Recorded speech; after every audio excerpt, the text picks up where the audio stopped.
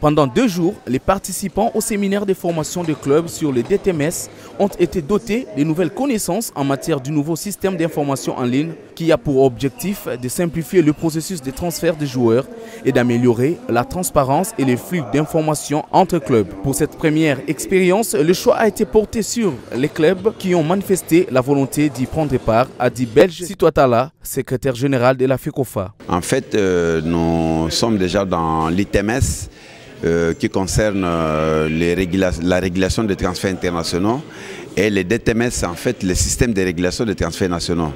Donc la formation est vraiment opportune. Il n'y a pas eu tri, il y a eu manifestation. En fait, nous ne pouvions avoir que 20 clubs par, par jour, donc 40 clubs, mais là nous sommes au-delà. Euh, nous avons pris les clubs qui ont manifesté les désirs de participer. Ce genre de séminaire devrait être vulgarisé partout, estiment les participants. Euh, ce genre de séminaire doit d'abord être vulgarisé au niveau de tous les sportifs. La FIFA a presque privilégié euh, ces droits-là, les droits, droits des joueurs. À ce genre de séminaire, ça nous profite nous. Nous, puisque nous avons l'habitude, nous, Vita, Imana, Mazembe, nous jouons la compétition, nous compétissons facilement. Et quand nous voyons l'autre club participer à des séminaires pareils, ça nous réjouit par exemple.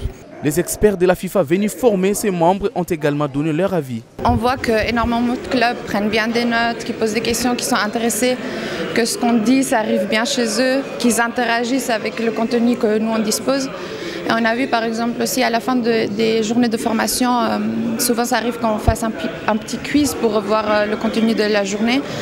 hier par exemple, il y a beaucoup de participants qui ont eu énormément de bonnes réponses et ça n'arrive pas très souvent, surtout que c'était des nouveaux utilisateurs, donc euh, on est ravis.